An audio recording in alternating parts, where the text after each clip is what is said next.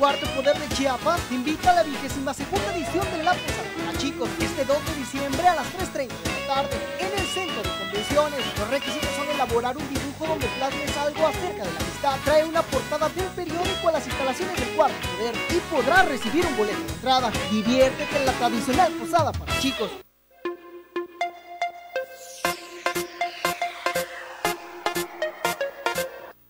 La iglesia llama a sus fieles a adoptar a un pobre. Se aprueba la iniciativa en materia de extinción de dominio, dice el senador Eduardo Ramírez Aguilar. Protestan en Tijuana a favor y en contra de los migrantes. La carretera Villaflores-Ocosacuautla une regiones y mejora el traslado. Muy buenos días amigos de TVO Noticias. Al momento de Cuarto Poder los saludamos la mañana de este lunes 19 de noviembre desde la capital chiapaneca, Tuxtla Gutiérrez, transmitiendo completamente en directo. Quédese con nosotros. En los próximos minutos le informaremos a detalle de la agenda local, nacional, por supuesto, de espectáculos, cultura y todo lo relacionado con el mundo deportivo. Carlos César, muy buenos días. Buenos días, a todos, buenos días a todos. Un placer saludarlos esta mañana en este fin de semana largo. Sí, claro. Hoy eh, está tranquila Tuxtla Gutiérrez. Muerta la ciudad. Así fuera todos los días, que no hubiera mucho tráfico, ¿no? Muerta la ciudad, seguramente también esto por el tema del día de asueto, se ha movido, según nos dicen, el buen fin también, ¿no? Eh, Mucha movilidad en los comercios. rollo con los gobiernos, ¿no? Dice, oye, eh, les vamos a dar un día más por el 20 de noviembre. Pero qué chiste que hoy descanses y mañana, 20 de noviembre, tengas que ir a trabajar. Que trabajar. Se corrió esto, ¿no? Cambió. Antes te daban el, día que, que caía. Bueno, opiniones divididas también en este tema. Nosotros arrancamos ya la información de lleno a presentarle la siguiente nota que nos preparó nuestro compañero Abisaín Alegría en el sentido de denominar esto de paraíso a infierno. El nombre ya le queda grande a la colonia. Esto es más que paraíso, es un infierno con tantos problemas y carencias, dijo la presidenta de dicho asentamiento humano ubicado al norte poniente de la capital chiapaneca. Problemas de drenaje, invasión, falta de alumbrado público son solo algunos motivos que aquejan a los colonos. La presidenta de la colonia Paraíso Alto, Raquel Zavala Hernández, señaló a César Amín Aguilar Tejada, hermano de Edgar, de adueñarse de otro espacio destinado para áreas verdes en la zona. Invadir áreas verdes es mal de familia, dijeron los vecinos molestos.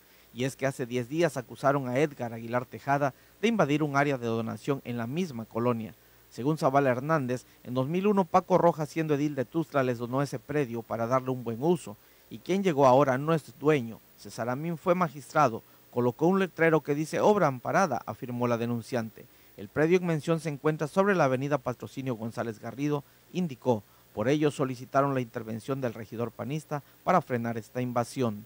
Para TVO Cuarto Poder, Avisaín Alegría. Vamos a otra información. La Iglesia Católica llama a sus fieles a adoptar a un pobre. Por disposición del Papa Francisco, la Iglesia Católica celebrará este 25 de noviembre la segunda Jornada Mundial de los Pobres. Se trata de estimular a los creyentes para reaccionar ante la cultura del descarte y del derroche. Apropiándose de la cultura del encuentro, sostuvo el arzobispo de la arquidiócesis de Tuxtla Gutiérrez, Fabio Martínez Castilla. Al sentirnos todos deudores para con los pobres, los migrantes, los presos, los desplazados, los que por causa de su nivel social, educativo, lengua, etnia o condición laboral son excluidos discriminados o atropellados en sus derechos y dignidad humana. Esta jornada quiere ayudarnos a tomar conciencia para tendernos recíprocamente las manos unos a otros. Nos necesitamos y somos responsables del hermano. Con el lema Este pobre gritó y el Señor lo escuchó, el arzobispo convocó a los fieles a solidarizarse con los pobres necesitados de ayuda en todos los sentidos de la palabra dijo que este día será una oportunidad para no echar en saco roto el sentido de la humanidad. En la arquidiócesis de Tuxtla Gutiérrez se impulsa y administra la labor de diversas instituciones de asistencia como servicio de caridad a los pobres. Entre ellas señaló que existen nueve dispensarios médicos instalados en distintas parroquias de la ciudad, También para atender a los que tienen hambre, la iglesia cuenta con cuatro comedores comunitarios ubicados en Terán, Colonia Pomarrosa, en la capilla de Santo Domingo y en el santuario Juan Pablo II, además de la casa de migrante Jesús Esperanza en el Camino. A través de estas instituciones de la iglesia, todos pueden participar para ayudar a los más pobres, asistiéndolos de manera material y espiritual, señaló. Para TVO Noticias al momento de Cuarto Poder, Ezequiel Gómez. Gracias por continuar con nosotros. Vamos a más temas. Antes, permítame saludar, por supuesto, Dan Alfarro nos envía saludos. Dice, saludos por favor a los niños de Club Balán Robotics de Tapachula, Chiapas. 17 alumnos de la Escuela Primaria México que mañana salen con rumbo a Cancún a un torneo internacional de la materia. Enhorabuena para ellos y ojalá tengan éxito en esta nueva aventura que enfrentarán en este torneo internacional allá en Cancún. Nosotros vamos con más información también de nuestro compañero Abisaín Alegría. Está desangelada esta feria que se lleva a cabo en el barrio Santa Cecilia, aquí al sur de la capital chiapaneca.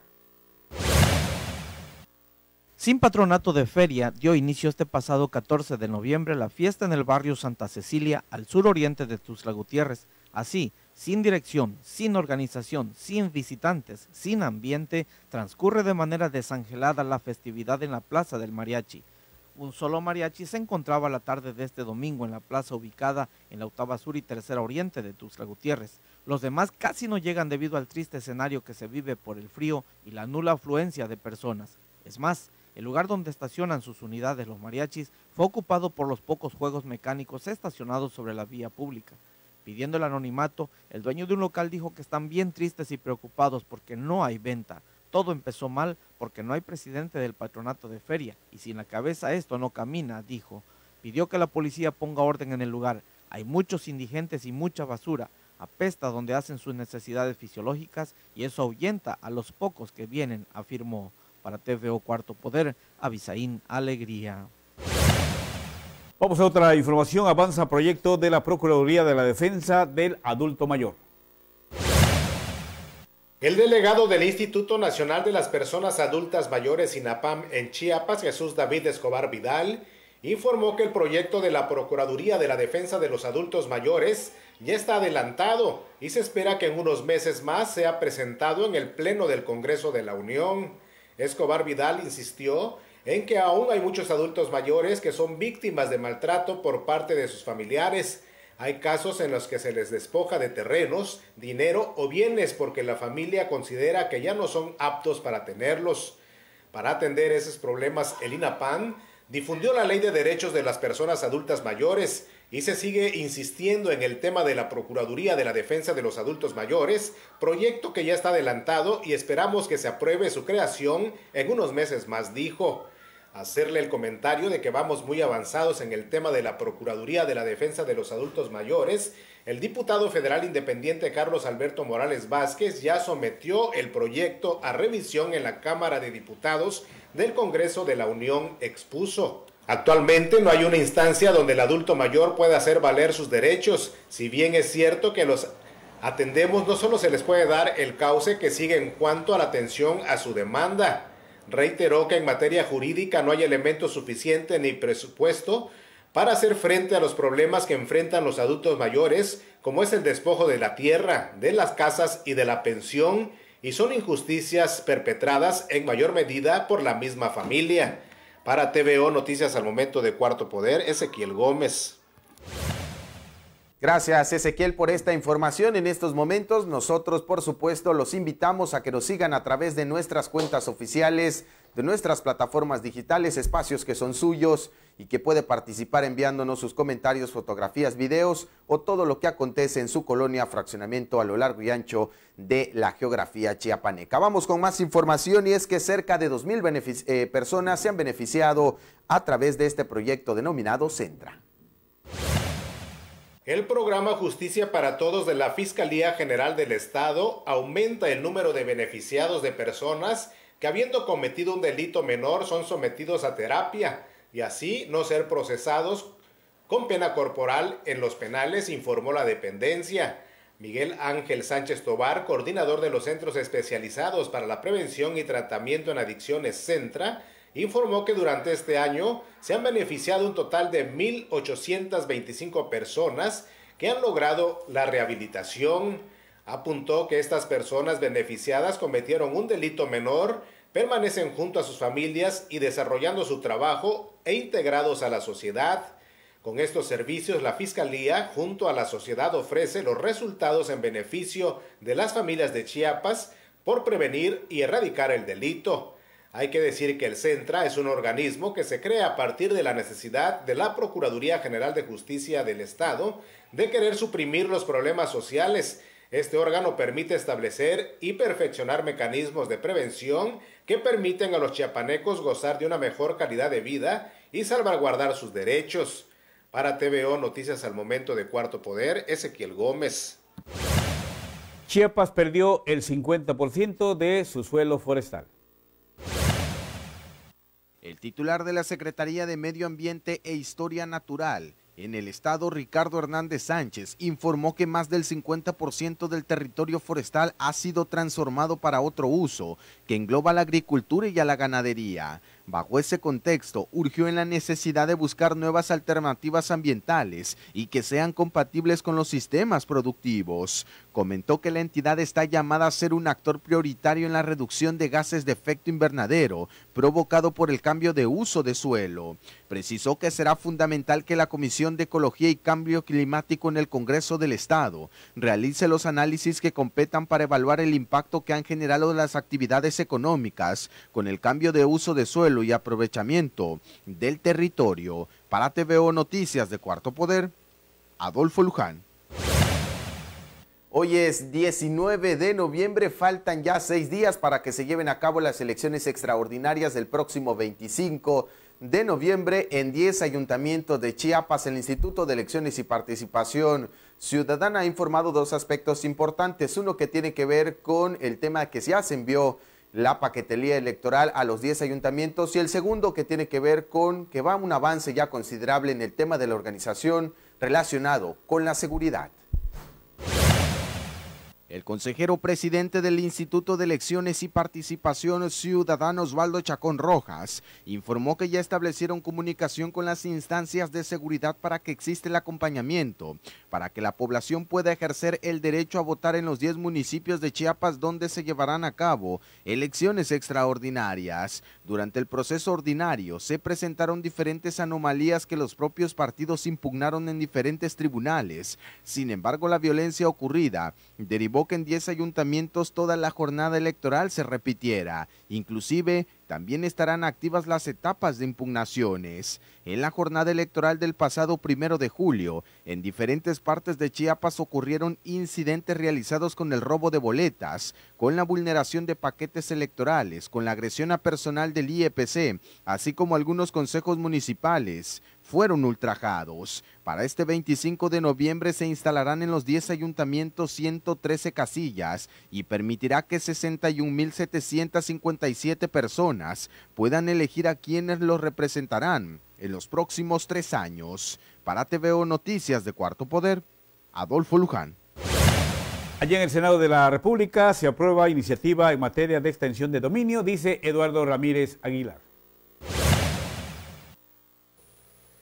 Eduardo Ramírez Aguilar, presidente de la Comisión de Puntos Constitucionales del Senado de la República, anunció y al mismo tiempo celebró la aprobación de la iniciativa que tipifica nuevos delitos como graves en los cuales procede la figura de extinción de dominio, sobre todo en lo relacionado con actos de corrupción.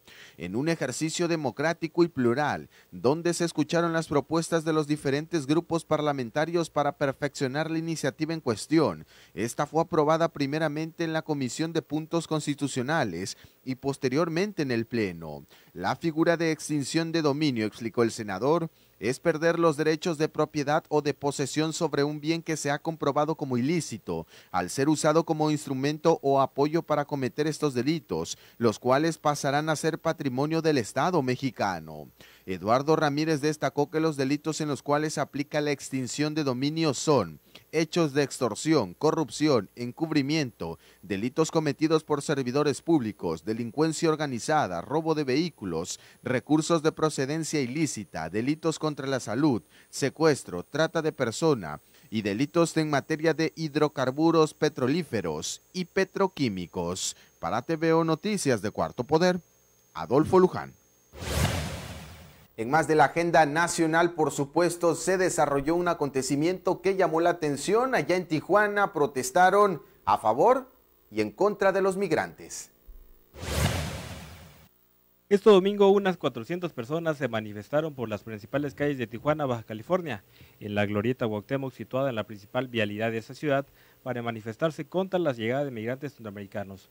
Fueron más de 400 personas que gritaban su rechazo a los extranjeros, con banderas de México, cornetas y pancartas. Uno de los grupos justificaba la manifestación al decir que defienden a su tierra y familias y demandaban el retorno de los centroamericanos a sus países. Justo a una calle de la movilización fue convocada otra protesta a la misma hora, pero en contra de la discriminación.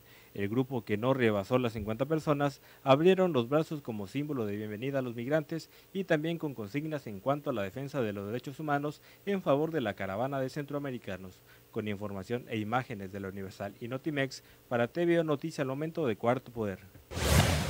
La carretera Ocosocuautla-Villaflores une regiones y mejora traslados. La modernización y ampliación de la carretera Villaflores-Ocosocuautla que se realiza por parte del gobierno de Manuel Velasco Cuello logrará la conectividad de municipios estratégicos en la entidad, ya que une a las regiones Frailesca, Metropolitana y Valle Soque. Al respecto, el gobernador señaló que esta es una de las obras más importantes en materia de construcción o rehabilitación de redes carreteras que se impulsa en el estado ya que durante más de 25 años permaneció sin mantenimiento. Esta vía ha sido ampliada de 7 a 12 metros de ancho y consta de 70 kilómetros en línea recta. Con su conclusión, el tiempo de traslado entre Villaflores y Ocosacuautla pasará de una hora con 40 minutos a una hora o menos es la puerta de entrada a la Una de las regiones más productivas del estado. Con su modernización se agilizará el traslado de productos y los usuarios viajarán de forma más segura, manifestó. La carretera contará también con tres puentes situados en intersecciones estratégicas para agilizar la circulación, la, cual ya está abierta a autos y camiones. Para TVO Noticias de Cuarto Poder, a Cuarto Poder. Lunes 19 de noviembre de 2018, portada y contraportada del periódico Cuarto Poder. Autoridades garantizan seguridad para las elecciones extraordinarias en Chiapas. Protagonizan militantes del PRD Zafarrancho y dicen que van a desaparecer las tribus. En Estados Unidos no se tolerará invasión de migrantes, dice Donald Trump. Iglesia llama a sus fieles a adoptar a un pobre. Villaflores de Cozucautla, carretera une regiones y mejora traslados, dice el gobernador Manuel Velasco Cuello, la sociedad quiere un cambio verdadero, dice el gobernador electo de Chiapas, Rutilio Escandón Cadenas. Se venden permisos de transporte a través de redes sociales, nomás lo que nos faltaba. En la contraportada en Arriaga acribillan a tres en la pesquería La Gloria. Mire usted, hubo un choque y volcadura. Hay ocho lesionados allá por el rumbo del autódromo aquí en Chiapas. En atletismo se corrió la primera edición solo para peques. En flag football, Chiapas es bicampeón categoría U12 en el nacional. Confirman la muerte de Héctor Leiva el H, un narcotraficante. Sufrió un paro cardíaco según el hospital que lo atendía. En Jitotol, mujer y niña muertas a golpes y al parecer fueron violadas. En la sección de opinión hoy están Mario Ruiz Redondo, Carlos César Núñez Martínez, Rafael Victorio Ruiz, María José Díaz Flores y el maestro Armando Fuentes Aguirre, mejor conocido como Catón. Portada y contraportada del periódico Cuarto Poder del día de hoy, lunes 19 de noviembre del 2018. Con esta información nosotros damos un giro y en estos momentos le presentamos los acontecimientos más importantes en el rubro deportivo. La selección Chiapas brilló y obtuvo el bicampeonato en la categoría Under 12 varonil tras haber vencido a los anfitriones en la final del Campeonato Nacional de Tocho Bandera Under 17 que convocó a la Federación Mexicana de Fútbol Americano y que tuvo como sede la Ciudad de México los pasados 17 y 18 de noviembre. El presidente de la Asociación Chiapaneca de Fútbol Americano se dijo contento por los resultados, ya que Chiapas estuvo presente en cuatro finales, de las cuales se quedaron solo con una, pero se hizo un gran trabajo dejando muy en alto el nombre del Estado.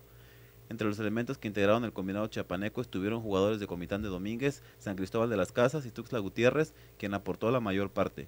Así también el dirigente de la ACHFA dijo que ahora tienen en puerta el Nacional Juvenil de Coahuila, donde Chiapas participará en la categoría Under 18. Para TVO Deportes de Cuarto Poder, informó Antonio Zúñiga. El día de ayer se desarrollaron los encuentros correspondientes a la segunda jornada de la Liga de Fútbol Rápido Bonampague, donde Deportivo Universidad del Sur goleó 6 a 1 a Banco de Sangre para ligar su segunda victoria en la cancha del Parque del Oriente, Pañuelo Rojo. Los universitarios salieron con personalidad al campo de juego y repitieron la misma fórmula del fin de semana anterior para quedarse con los tres puntos que le permitan seguir en lo alto de la clasificación, mientras los rojos ligaron su segundo descalabro. En otros resultados, Deportivo Brasil goleó 6-1 a Deportivo Milán, Deportivo Peñitas hizo lo propio 7 a 0 ante la Pandilla, Deportivo Veteranos hizo 5-4 ante Deportivo Linces y Deportivo FC Solís se impuso 9 a 1 ante Juventus FC. Para TVO Deportes de Cuarto Poder informó Antonio Zúñiga. Este domingo por la mañana se realizó con éxito la primera edición de la carrera solo para peques en las distancias de 20 a 1100 metros y en el que participaron un total de 200 niños y niñas. Las instalaciones de la Secretaría del Campo fueron sede y el objetivo de su realización para fomentar el deporte, así como para que esta categoría sea incluida en eventos posteriores. Las categorías fueron de 3 a 15 años de edad, con distancias de 20 a 1100 metros en ambas ramas, siendo un total de 10 hits, además de una carrera familiar en donde todos los niños estuvieron en compañía de sus padres para correr 1100 metros. Al final del evento, los ganadores de cada categoría fueron reconocidos con medallas, diplomas y bolsas de dulces, que fueron entregados por el comité organizador, así como por jugadores del club Amazonas del fútbol americano que fueron invitadas de honor. Reportando para TVO Deportes de Cuarto Poder, Adrián Cisneros.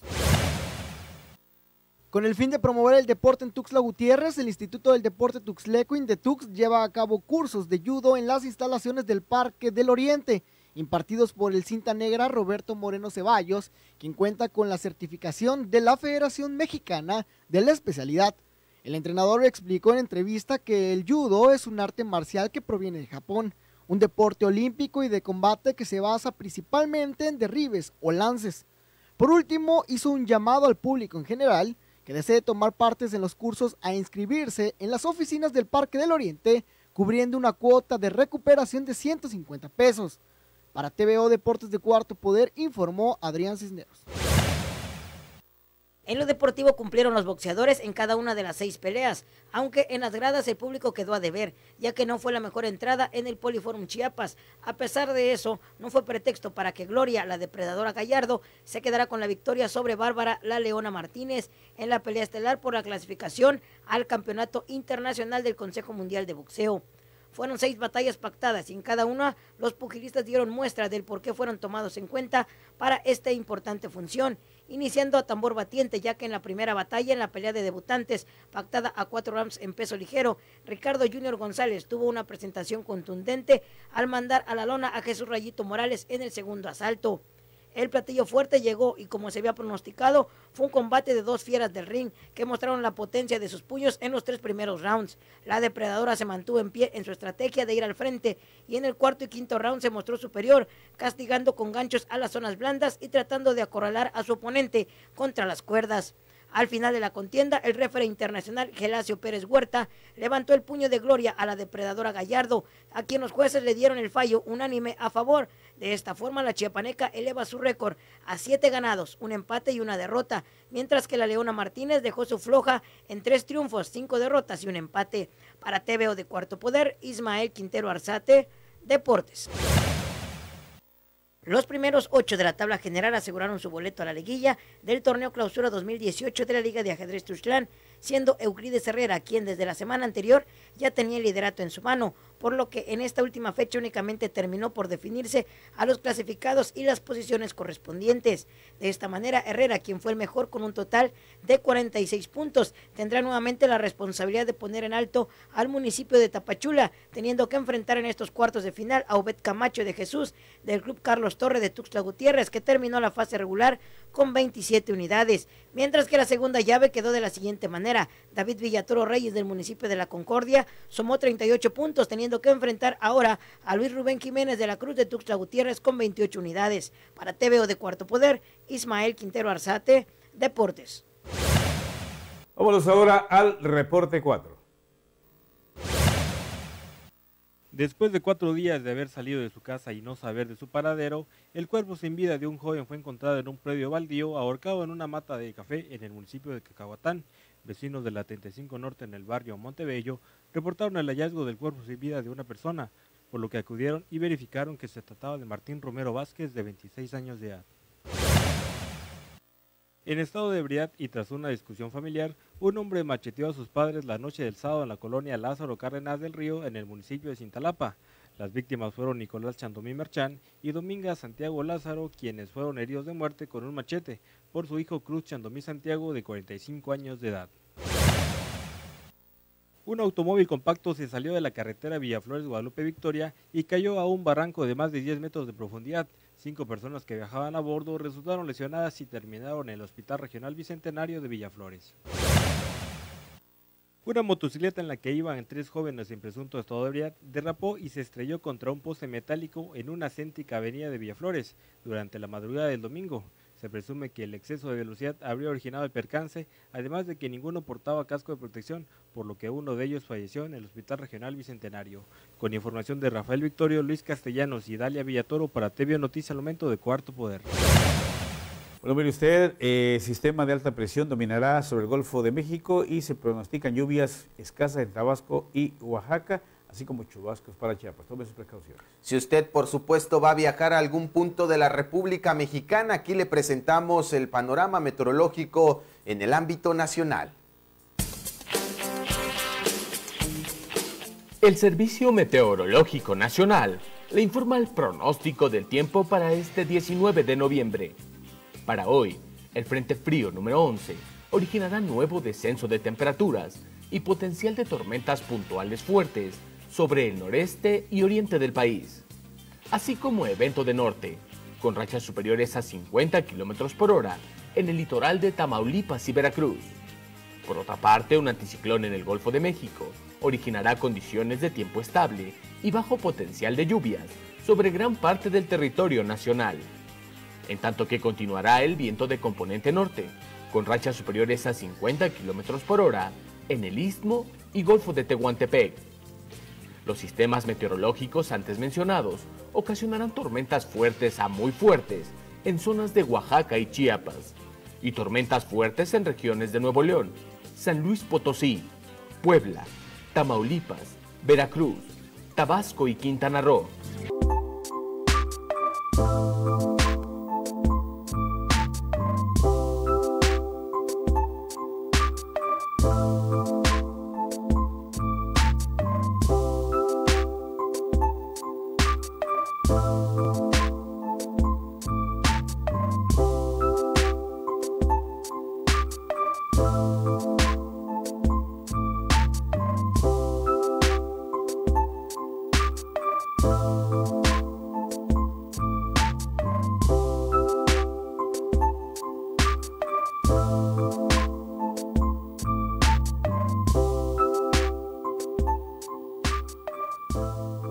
Esta información nosotros damos por concluida la primera emisión de TVO Noticias al momento de Cuarto Poder. Por supuesto, agradeciendo la amabilidad de su atención, le informamos de los acontecimientos más importantes en la agenda local, nacional y por supuesto en el mundo deportivo. A nombre de todo el equipo que hace posible este programa, gente que usted no ve frente a su pantalla, pero que por supuesto juegan un papel fundamental en las cámaras, nuestros compañeros Marcos Osorio, Max Otero en los sistemas informativos, el ingeniero Armando en la edición, nuestros compañeros Alex Orozco y por supuesto Alex Castillejos, todo bajo la supervisión del productor y realizador, el ingeniero Juan Carlos. Carlos César, nos vamos. Mañana seguramente gracias, más actividad. Adolfo, gracias a usted que los ve y nos escucha. Hasta mañana.